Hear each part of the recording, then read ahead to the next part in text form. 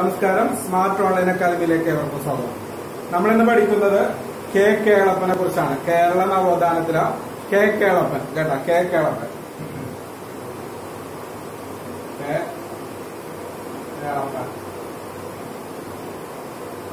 K കേളപ്പനെ കുറിച്ചാണ്.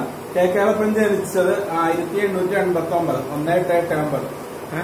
August ഇരുപത്തിയാറിനാണ്. August ഇരുപത്തിയാറിനാണ് ആയിരത്തി എണ്ണൂറ്റി എൺപത്തി ഒമ്പത് ആഗസ്റ്റ് ഇരുപത്തിനാല്.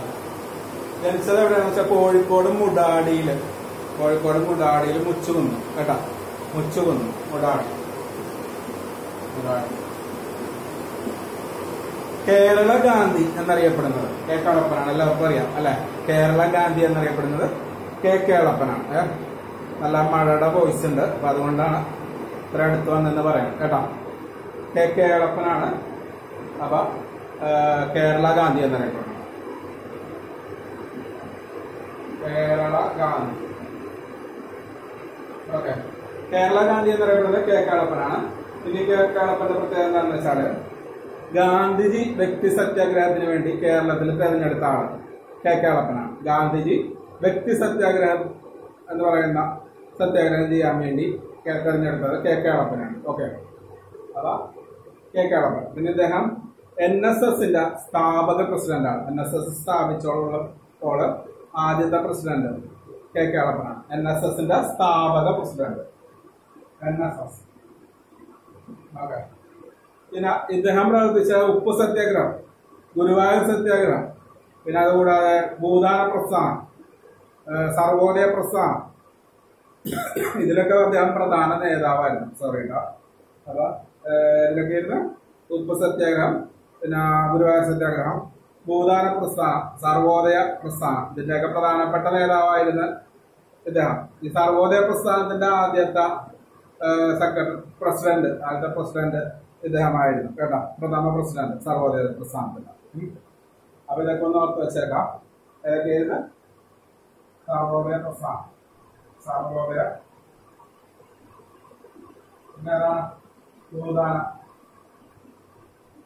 പിന്നെ ഉണ്ടല്ലോ ഉപ്പ് സത്യാഗ്രഹം പിന്നെ അതുകൂടാതെ ഗുരുവായൂർ സത്യാഗ്രഹം.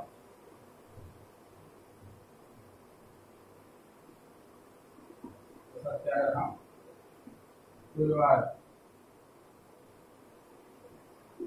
ഓക്കെ എൻഎസ്എസിന്റെ പ്രഥമ പ്രശ്നം ആയിട്ടാ നമ്മുടെ മലപ്പുറം ജില്ല രൂപീകരിച്ചപ്പോൾ മലപ്പുറം ജില്ലയുടെ രൂപീകരണത്തിന് ഇദ്ദേഹം പറഞ്ഞ എന്താണെന്ന് വെച്ചാൽ ഒരു കൊച്ചു പാകിസ്ഥാനെ പറഞ്ഞത് ഒരു കൊച്ചു പാകിസ്ഥാനെ സൃഷ്ടിക്കുകയാണ് ചെയ്യുന്നത് എന്നാണ് മലപ്പുറം ജില്ല രൂപീകരിച്ചപ്പോൾ കെ കേളപ്പൻ പറഞ്ഞത്. കേട്ടോ? മലപ്പുറം ജില്ല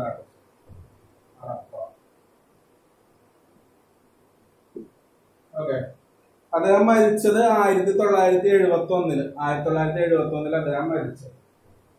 ആയിരത്തി തൊള്ളായിരത്തി എഴുപത്തി ഒന്നിൽ കേരള ഗാന്ധി കേളപ്പൻ മ്യൂസിയവും ഗവേഷണ കേന്ദ്രവും വരുന്നത്.